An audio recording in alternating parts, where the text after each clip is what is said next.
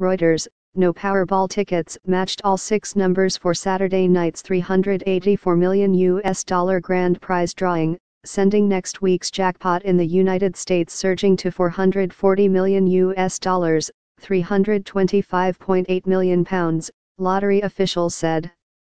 The estimated 440 million US dollar prize, with a cash value of 278 million US dollars, marks the ninth largest jackpot in the game's history, according to figures on the Powerball website.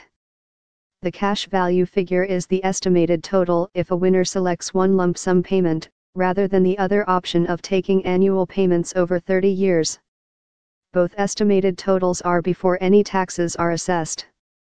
The winning numbers for Saturday's drawing were 28, 36, 41, 51, 58 and the Powerball of 24.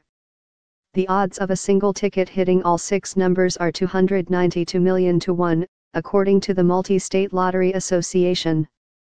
The largest Powerball jackpot was 1.6 billion US dollar payout split among winners in California, Florida, and Tennessee in January 2016. The record Powerball winner for a single ticket buyer is 758 million US dollars. Won by a Massachusetts woman in August this year. Powerball tickets are sold in 44 U.S.